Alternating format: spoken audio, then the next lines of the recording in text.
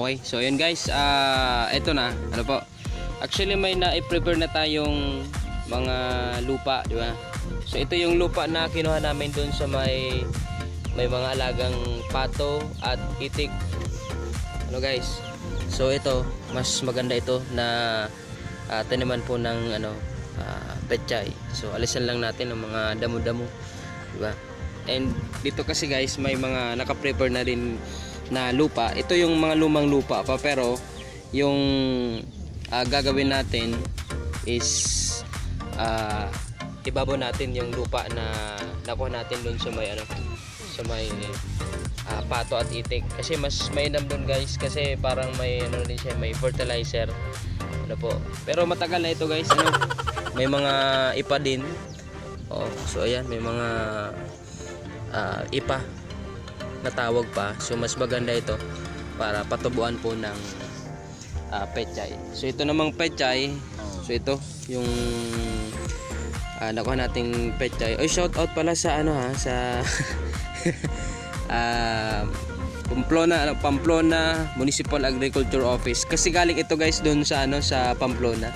Mm. So yun, may nakalagay pang pechay. So hindi talaga magkakamali ano na pechay itong itatanim natin ngayon.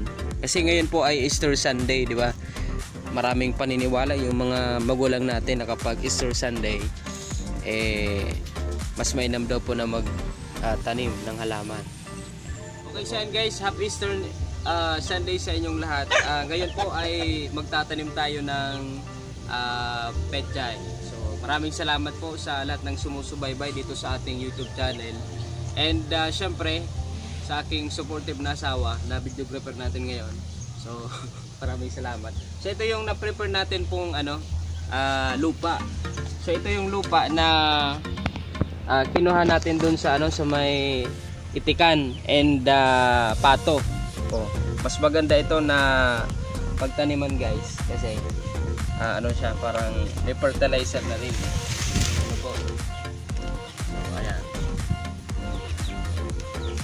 Sabi nila kasi guys pag ano pag Easter Sunday mas mainam daw po na magtanim ng ano ng halaman. So ngayon uh, ita-try natin ano kung, kung tama ba sila. Pero hindi naman sa lahat ng pagkakataon ano ah, kasi mostly yung iba nagtatanim kahit hindi po Easter Sunday, di ba? Kasi hindi naman pwedeng Easter Sunday ka lang po magtatanim po ng halaman. So, ano, nasakto lang po na Easter Sunday ngayon na magtatanim po tayo ng ano, ng pechay, di ba? So, yung pechay po is madali pong tumubo, di ba? Siguro mga 15 days nito guys, after po na tumubo, na pwede nang i-transplant. So sa pag-transplant naman natin, ah, siguro ibablog natin kung ano po yung ah, mga sikreto ng iba na pwede rin natin kung ma-share sa inyo, di ba? So, ayun, na-prepare na natin po yung ah, punlaan ah, nito pong pechay, pero kailangan dapat medyo malinis din, ano? Ah, para maganda yung tubo po ng ano ng pechay, di ba? Okay. So, since holiday ngayon guys, wala tayong ano, wala tayong lakwatsa. Pero next day, ano po? Ah, ano pala, mag-vlog din tayo dun sa mga ano, mga nagtatanim po ng pakwan, di ba? Ngayon pong ano, summer season, ah, marami pong tatanim ng pakwan. Kaya Diyan sa bayan po ng San Fernando, di ba? Oh, so yan po yung ano, ah, pagtataniman po na, eh pagtatanim. Yan po yung iba-vlog natin, di ba? Yung mga Pakwan farmers diyan po sa bayan po ng San Fernando. So ito guys, yung uh, Pechay, shout out ulit po sa Mau, uh, Mau Pamplona sa Municipal Agriculture Office diyan po sa bayan po ng Pamplona. Galing po sa kanila ito, ito pong Pechay. So, maraming salamat ano po kay Sir Dan Burdon. So ayun, ah, dapat ano siya, ah, hiwa-hiwalay din, ano, para yung pag- pagtubo hindi siya dikit-dikit. so yun guys, ano po, dapat hiwa-hiwalay yung ah, pagpunla nito. Ito based din po sa mga ano sa mga experience natin or experience ng iba. na nakikita natin eh nakakausap ng mga farmers. Yun yung ginagawa nila. Eh pinupunla ano po ng hiwa-hiwalay ito pong ah petchay di ba? So yun guys. Naipunda na natin yung petchay so ang next step ah di ko lang alam kung ginagawa nyo ito pero ah, ito yung ginagawa namin guys. Um, ipa. Ipa yung iniibabaw namin dito po sa pechay. Kasi yung purpose nito is para hindi hindi po direkta na mainitan yung mga pechay. And para mas maganda po yung tubo. So ilagay natin po yung ipa ang tawag dito sa amin sa Bicol ano eh ata ano. Pero sa ano guys sa sa Tagalog ipa di ba? Wala tayong nakuhang ano guys ano wala tayong nakuhang medyo ano malalaking ipa. So ito oh, alis dyan. Ito lang yung problema dito ano kasi marami ding ano mga manok kaya delikado o, kasi pag ganito guys na naipupunla baka mapagdiskitahan po ng ano ng mga manok nyo di ba siguro maitago natin ito guys sa medyo safe na lugar para hindi po makita ng mga manok Mm, kasi marami ding manok dito sa amin no? Mm. so ayun ano po ah, para sabi nga yan guys ah, parang shield din siya ano? Shield sa sunlight and also pag umuulan hindi masyadong ano parang madamage yung ah, mga punla natin. Lalo na kung tumutubo na sila. So mas maganda na pag ah, may ganito may ah, ipa so ah, ito yung ipa na nakuha natin. And next step siguro alam nyo alam nyo naman eh bago natin ah, iwanan ito pong nepunla natin eh syempre kailangan natin pong diligan so pinakauna dapat ah ang tawag nito yung bang parang strainer di ba Oh, may mga maliliit na butas. Ito yung ginawa namin dito, yung ano, yung lata na may ah, maliit po na mga butas. Oh, para pag nagdilig kayo, hindi masyadong ah, madamage din ah, yung ano, yung mga punla natin. Oh, ayun guys, so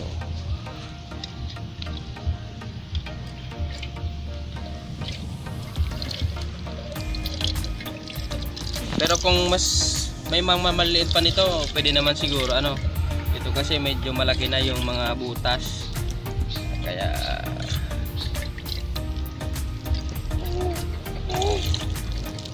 And kung pwede rin siguro yung mga sprayer, di ba? Oh, yung in-spray lang po na may tubig, pwede rin.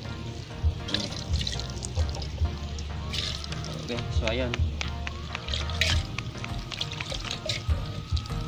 Di ba? Okay. So bukas ng umaga, ah, didiligan ulit natin ito, pero konti lang. Ah, yung parang mamoist lang yung mismong punla para after siguro mga 3 days, ano, ah, pwede nang tumubo or 3 to 5 days, pwede nang tumubo ito pong petjay. And ah, mga 15 days, guys, pwede natin siyang ma-transplant ano po sa ibang ah, mga tawag doon oh, pating pating bag oh. Kaysa ano sa flat di ba? Pero yung ano natin ngayon ita-transfer natin dun sa ano self-watered container. So gagawa tayo guys ng self-watered container. Ita-try natin po kung talagang mas maganda ba siya dun sa self-watered container kaysa sa flat. Kasi as in sabi ko nga sa inyo maraming manok din dito sa amin. So baka hindi po gaanong mabantayan eh baka maubos po yung pechay natin. So ah, yun po yung naisipan natin gawin. So siguro sa next vlog natin ayun po yung gagawin natin po sa pag-transplant ah, from here ah, patungo po sa self-water container ah, para mas maging ah, epektibo po yung pagtatanim po ng uh, pechay para rin po yung ano parang ding hydroponics na tinatawag Ah, yung na-vlog natin kay Sir na Gilbert Contreras dyan po sa Sibao uh, Kalabanga shout out kay Sir ah, Gilbert.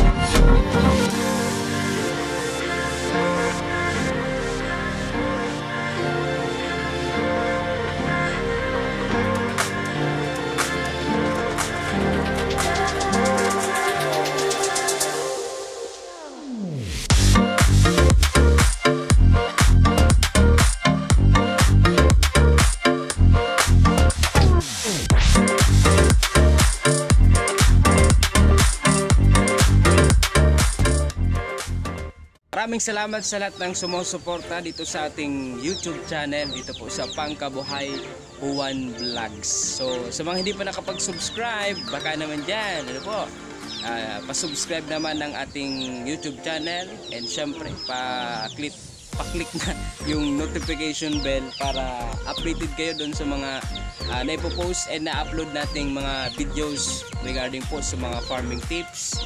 Ano po, sa pagbisita natin sa iba't ibang mga farm, ano po, pagkuha ng mga ideas doon sa mga farmers ah, sa iba't ibang lugar all over Bicol region and dito po sa aming probinsya sa Camarines Sur.